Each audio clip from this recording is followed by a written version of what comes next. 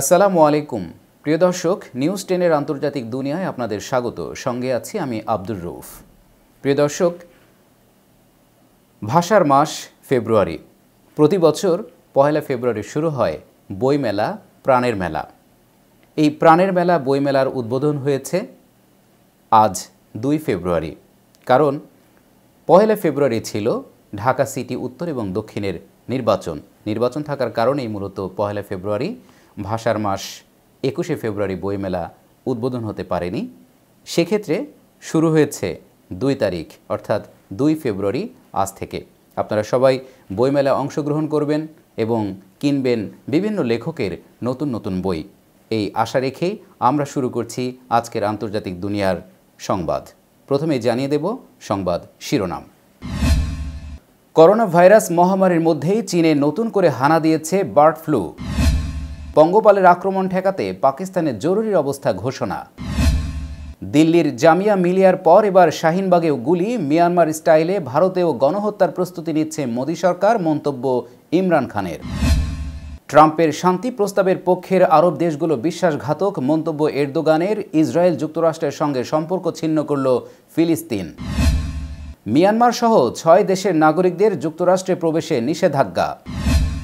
এবং দুর্বৃত্তদের গুলিতে নিহত ভারতের উত্তরপ্রদেশের বিশ্ব হিন্দু মহাসভা সংগঠনের সভাপতি রঞ্জিত বচ্চন।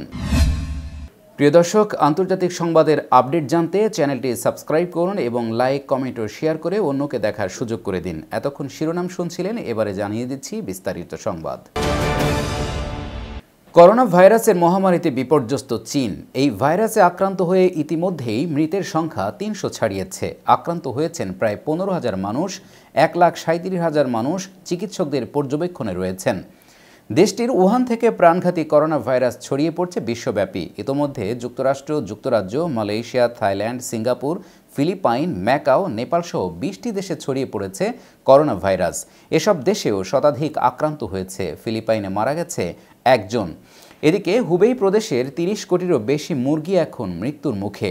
করোনা ভাইরাসের কারণে অঞ্চলটির সঙ্গে ইতোমধ্যেই চীনের অন্যান্য শহরের যোগাযোগ বিচ্ছিন্ন করে দেওয়া হয়েছে।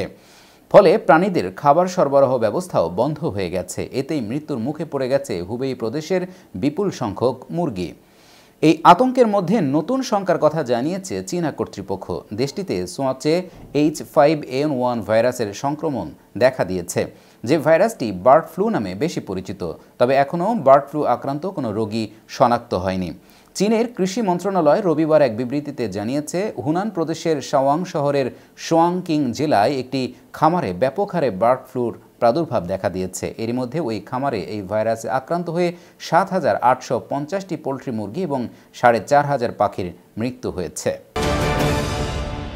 পাকিস্তানের পাঞ্জাব প্রদেশে পঙ্গপালের আক্রমণে বিপুল পরিমাণ ফসলের ক্ষয়ক্ষতি ঠেকাতে জরুরি অবস্থা ঘোষণা করেছে ওই দেশের সরকার। শনিবার দেশটির সংবাদ মাধ্যম ডনের খবরে বলা হয়েছে, শুক্রবার প্রধানমন্ত্রী ইমরান খানের সভাপতিত্বে অনুষ্ঠিত এক বৈঠকে এ সিদ্ধান্ত নেওয়া হয়। চারটি প্রদেশের মন্ত্রী পরিষদের সদস্য এবং ঊর্ধ্বতন কর্মকর্তাদের উপস্থিতিতে পরিস্থিতি মোকাবেলায় একটি জাতীয় কর্মপরিকল্পনা নেওয়া হয়। ওই বৈঠকে পঙ্গপালের সংকট মোকাবেলায় সাতশো কোটি রুপি বরাদ্দ দেওয়া হয়। এর আগে উনিশশো তিরানব্বই সালে একবার দেশটিতে পঙ্গপাল আক্রমণ করেছিল।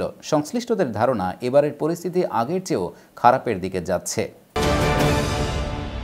ভারতের দিল্লির জামিয়া মিলিয়ায় গুলি চালানোর দুদিন পরেই গুলি চলল শাহিনবাগেও।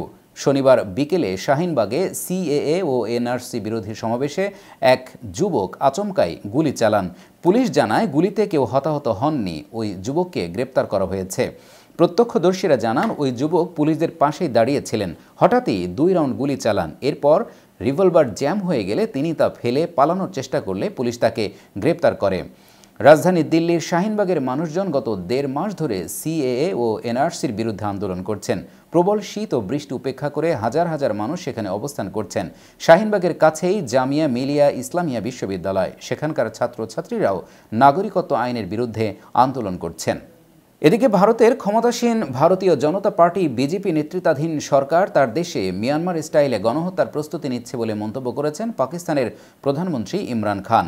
তুরস্কের সরকারি সংবাদ সংস্থা আনদোলুকে দেয়া বিশেষ সাক্ষাৎকারে তিনি এমন মন্তব্য করেন। খবর ডন। ইমরান খান বলেন, মোদী সরকার ভারত থেকে সংখ্যালঘু মুসলিমদের তাড়ানোর চেষ্টায় মত্ত।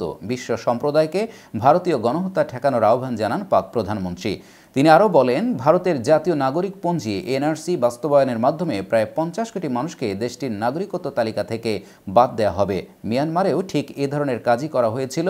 প্রথমে তারা নিবন্ধন আইন চালু করে এবং এভাবেই তারা মুসলমানদেরকে বাদ দিয়েছিল এবং তারপরই গণহত্যার ঘটনা ঘটে।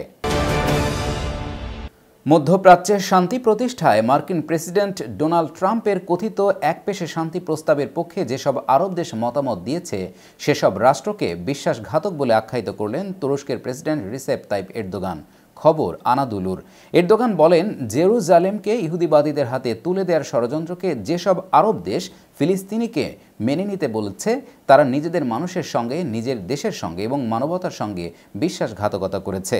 কথিত শান্তি পরিকল্পনার নামে ফিলিস্তিনি ভূমিতে ইসরায়েলি অবৈধ বসতিকে বৈধতা দেওয়ার বিষয়ে কোনো কথা না বলায় সৌদি আরব উপসাগরীয় অঞ্চলের আরব দেশগুলোর সমালোচনা করেছেন তুর্কি প্রেসিডেন্ট। এদিকে ফিলিস্তিন ইসরায়েল সংকট নিরসনের লক্ষ্যে মার্কিন প্রেসিডেন্ট ডোনাল্ড ট্রাম্পের বিতর্কিত শান্তি পরিকল্পনা প্রত্যাখ্যান করেছে আরব লীগ, মিশরের রাজধানী কায়রোতে ডাকা সংস্থার জরুরি বৈঠকে ট্রাম্পের মধ্যপ্রাচ্য শান্তি পরিকল্পনার প্রতিবাদ জানিয়ে দীর্ঘ বক্তৃতা দিয়েছেন ফিলিস্তিনের প্রেসিডেন্ট মাহমুদ আব্বাস। তথাকথিত শান্তি পরিকল্পনা প্রত্যাখ্যান করে যুক্তরাষ্ট্র এবং ইসরায়েলের সাথে ফিলিস্তিনের নিরাপত্তা সম্পর্ক বাতিলের হুমকি দিয়েছেন তিনি। এদিকে পাকিস্তান জামাত ইসলামের মহাসচিব লিয়াকত বালুচ বলেছেন, মার্কিন প্রেসিডেন্ট ডোনাল্ড ট্রাম্পের কথিত ডিল অব দ্য সেঞ্চুরি হচ্ছে শতাব্দীর সবচেয়ে বড় প্রতারণা। ট্রাম্পের এই পরিকল্পনা কখনোই ফিলিস্তিন সমস্যার সমাধান করবে না। এই পরিকল্পনার মাধ্যমে ট্রাম্প ফিলিস্তিনিদেরকে তাদের লক্ষ্য থেকে বিচ্যুত করার ষড়যন্ত্র করেছেন। বার্তা সংস্থা ইরনাকে দেয়া সাক্ষাৎকারে কথা বলেন লিয়াকত বালুচ। মিয়ানমার সহ ছয়টি দেশের নাগরিকদের যুক্তরাষ্ট্রে ভ্রমণে নিষেধাজ্ঞা আরোপ করেছে ওয়াশিংটন, তবে তারা পর্যটক ভিসায় যুক্তরাষ্ট্র সফর করতে পারবে।